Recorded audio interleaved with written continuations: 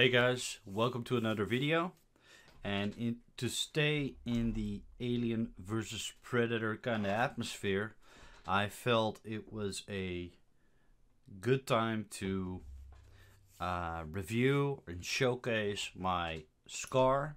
And then in the next video, I'll do Celtic, and and then uh, after that, I'll do Chopper as well and I intend to start painting uh, all three of them this week and I'll be doing that on Twitch uh, during a live stream. Uh, of course, the people on YouTube will get the uh, opportunity to uh, to watch me paint them as well uh, as I'll do um, upload the the replays of the the live stream to YouTube as well. But um, for this video, I wanted to, to do a Scar.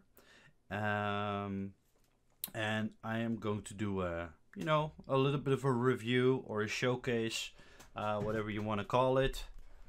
Um, back in 2007, uh, Narin gave life to uh, Scar, Celtic, and Chopper. Um, and all three of them are supposed to be uh, companion pieces. Uh, they are supposed to be displayed uh, with the three of them together. That was kind of like the, the concept uh, of these three pieces.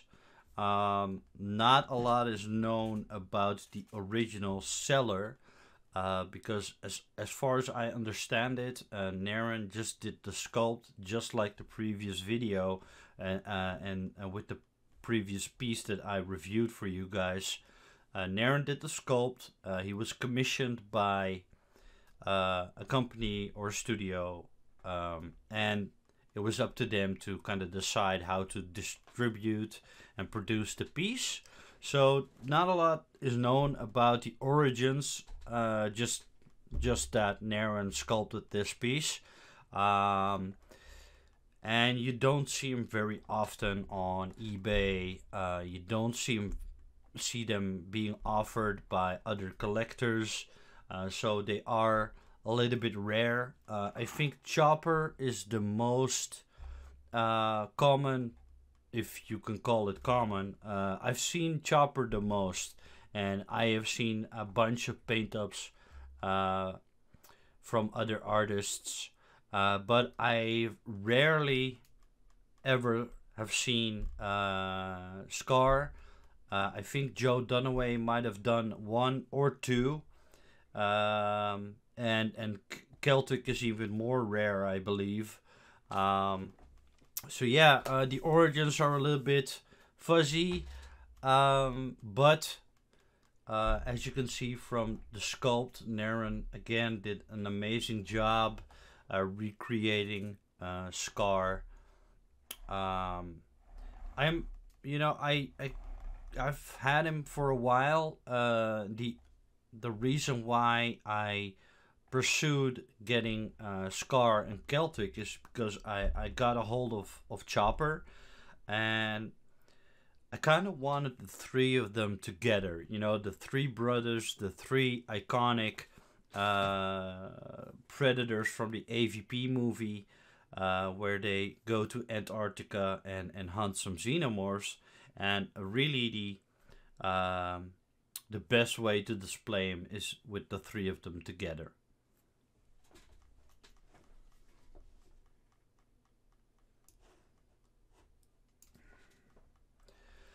Um, to kind of go into the overall concept of the piece, uh, Scar as well as the other two uh, all came without a base, um, which is a real shame um, because I feel a lot could have been done by adding a base and maybe kind of recreating uh, a scene from the movie, uh, something that resembles the movie. Um, maybe some kind of temple display or uh, something snowy because they were in Antarctica. But uh, sadly, they came without a base. So for now, uh, I have him displayed on um, on a temporary base. This is also from another Narin sculpt. Um, so I have him standing on this base for now, but I do think um, that I am going to uh, create a custom base for them uh, just to add a little bit more to the scene. Um, all three of them um, are have been sculpted in a somewhat uneventful kind of pose, some kind of uneventful kind of situation basically and they they are basically a museum pose and if you look at uh, the individual piece um, they are a little bit boring by themselves um, but um, they are supposed to be displayed uh, with the three of them together and that kind of creates a uh, somewhat of a scene. It, it completes the, the overall picture basically. So um, as for a concept uh, for just a, a, single piece, it is kind of boring. It is kind of you know um, a little bit plain and and simple. Uh, the museum pose. Uh, I, I, I, I do honestly believe that a lot of a lot could have been done uh, by adding a base or you know have him do something right now he's just standing um, so I, I, I do think that um, if you if you want to go for a piece like this you should uh, look into the uh, the other two uh, pieces as well uh, originally Scar came with a different uh, different hand which was holding the Predator throwing star. Uh, but in my personal opinion, it, it looked a little bit goofy. Uh, so I swapped out his hand uh, for something that I had laying around uh, in my spare parts. Um, so I swapped it out. I gave him a hand with uh, where he's holding a skull. It it kind of added a little bit more of that predator kind of feel, uh, even though the the predator throwing star is used in the movie to great effect even um, but uh, the pose didn't really kind of accomplish that that menacing feel or that predator feel so I really felt it necessary to kind of customize him and uh, so I, I gave him another hand. Um, the other hand the left hand uh, I, I also customized the left hand and gave him a skull and um, a skull and a uh, spine. And it, I just felt it it made him look a little bit more menacing. Um, there we go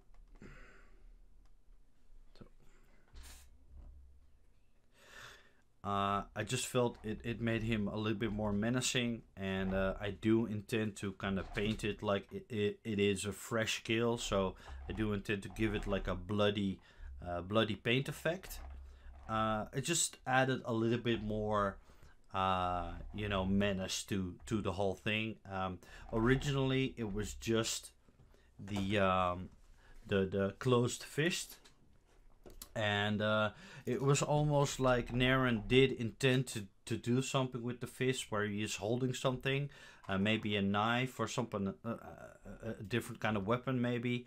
Um, but ultimately, um, he kept it like a closed fist, and um, like you you can see here, uh, it really uh, really works well together. so um, I felt that the customization uh, gave him a little bit of, of a predator kind of feel uh, at, at, by adding that, that menacing kind of thing. Uh, so I, I, do intend to, to paint it bloody and then uh, paint this one as like an old trophy, uh, very much like like this skull right here. Uh, some of the other features are his shoulder weapon, uh, and obviously the the the the massive backpack that he's kind of rocking. Um, his all his features that he has are movie accurate. Uh, he comes with a uh, closed, unused uh, throwing star, which I have attached with a wire to the um, oh, to the pouch right here. Let me turn on the light.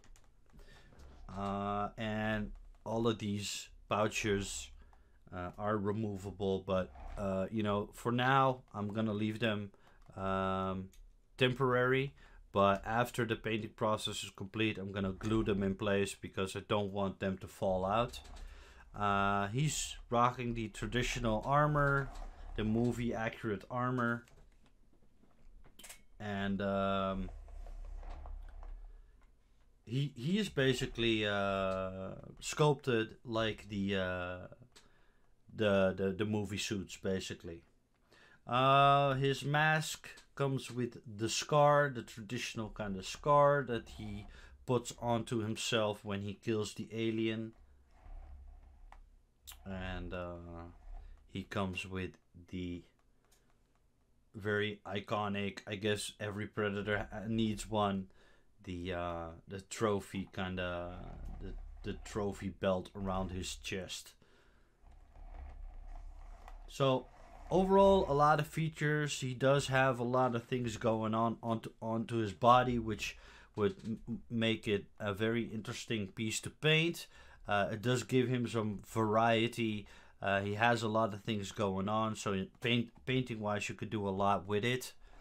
Um, and you know, Scar, obviously the hero of the movie, uh, the only surviving. Uh, well, technically he didn't survive, but um, the, the only predator who got to fight the queen, uh, and he does have the the uh, the face mask that the biomask that resembles the uh, the original Jungle Hunter predator.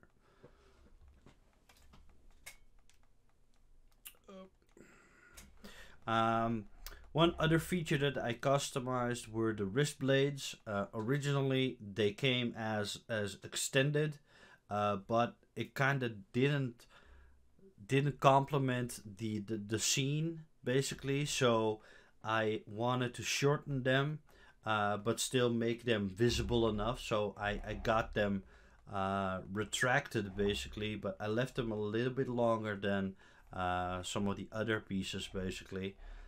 But I felt that retracted would complement the piece a little bit better. Um, it kind of looks goofy, uh, extended, uh, especially because uh, it, his original hand, as well as this hand, has been sculpted in such a way that um, it didn't really make sense for him to have the blades extended. So um, that's the reason why I do intend to glue the pouches because they tend to fall out after you move them overall, I think um, a lot could have been done uh, uh, by adding a base. Uh, I do think he's uh, it, it, it is it, it would add to the whole display, the overall kind of um, uh, kind of concept. I do think that in a lot of cases, especially with Narin predators, uh, he does so well with with adding something to the base that tells a story or it adds to the, the overall uh, concept um, that I, I do feel that uh, he needs uh, needs a base and I do intend uh, to kind of make a customized base uh, where he's standing in the snow. Um, I can show you guys an example. Uh, here I made a base for an another piece where uh, I basically uh, used rocks and then um, basically sculpted snow, uh, put put down some clay uh, and give it the snow effect basically so that when the predator is standing you can see the, the foot the footprints right here. Uh, when he's standing there, it, it uh, it's almost like he's standing in the snow. Um, he's you know, uh, Antarctica had a lot of rocks. Definitely, you could see the rock, the rocky kind of uh, surface uh, at the end of the movie where they were fighting the alien. They were uh, in a rocky area covered with snow, and I felt that that would kind of add to the um, uh, to the scene. So uh, this is basically what I'm I'm kind of going for. I think uh, I have to kind of play around with some ideas to have, uh, but this would would definitely kind of add to the whole scene, uh, putting them in the snow just like in the movie. But um, that is for the last kind of stage after he's all painted up. Um, I'll I'll try and find a good way to to work out a base for him. Uh, because if I make a customized base for Scar, I'll also have to make a customized base for the other two, the other two as well. Uh, what I could also do um, is uh, make one big base and put all three of them on there. But uh, I'll have to see what I can come come up with. So, um, my overall thoughts on this piece. Um, as a single piece, uh, he is not particularly interesting. Um, he's it's a, a very you know a very common uh, kind of piece. Uh, not a lot is going on. There's not a whole scene that it uh, or a story that's being told. So the museum pose is a little bit boring. Um, and I, I do really feel that he needs his two brothers next to him to kind of do it ju- do justice to the piece. Uh, definitely having them displayed next to each other uh, kind of completes the whole scene basically. Uh, so I do feel that if you're going for a piece like this, uh, for this particular piece, uh, you kind of need the other two as well. Um, overall, he's a cool character. Uh, displayed a lot of skill uh, in the movie.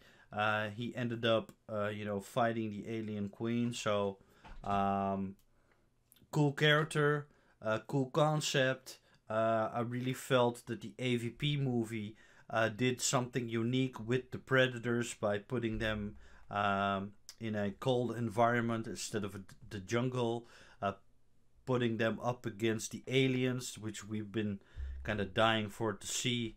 Um, and I, I did feel that they did a great job with the armor and the whole character design as a whole.